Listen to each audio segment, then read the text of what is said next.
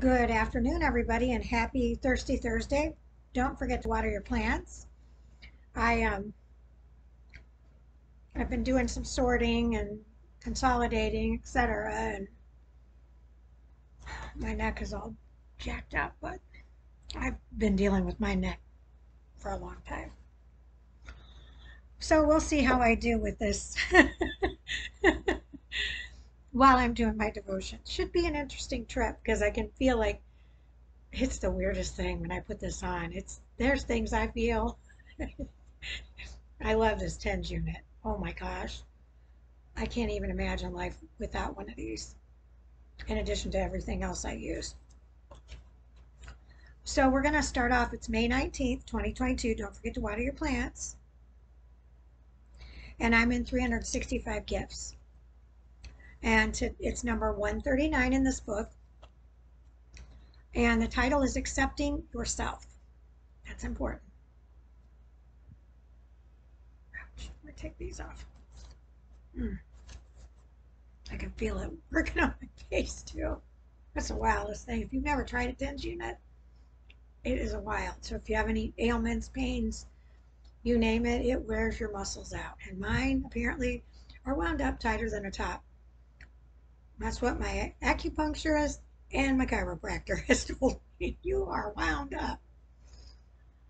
Then God said, Let us make my, mankind in our image in our likeness, so that they may rule over the fish in the sea and the birds in the sky, over the livestock and all the wild animals, and over all the creatures that move along the ground.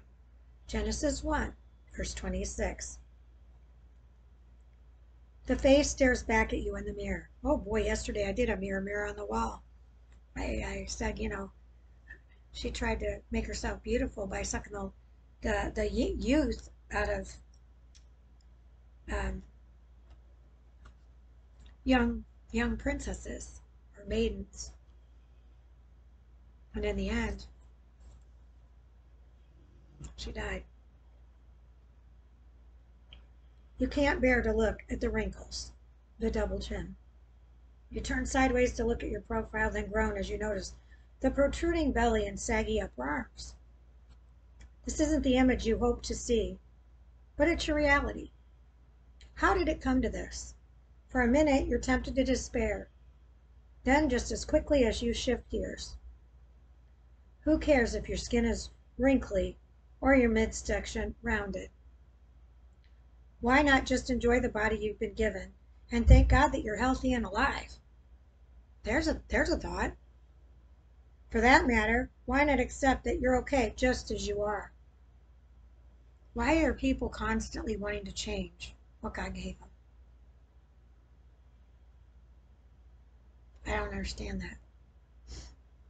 Accepting yourself, loving yourself as Christ loves you, is so vital to your mental and emotional health. It's also important to your spiritual health. After all, if you're so busy beating yourself up, you don't have much time left to thank the one who created you in the first place. If you're worried about getting Botox to smooth out whatever, and or nipping here and tucking there and raising here and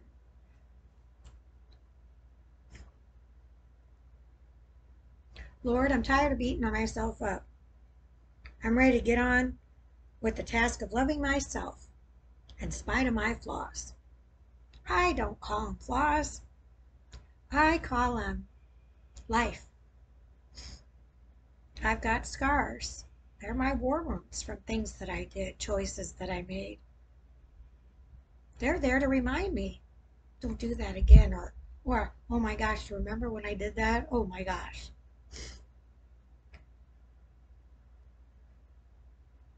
Please forgive me for being so self-absorbed, for caring too much about the, this outer shell, Father.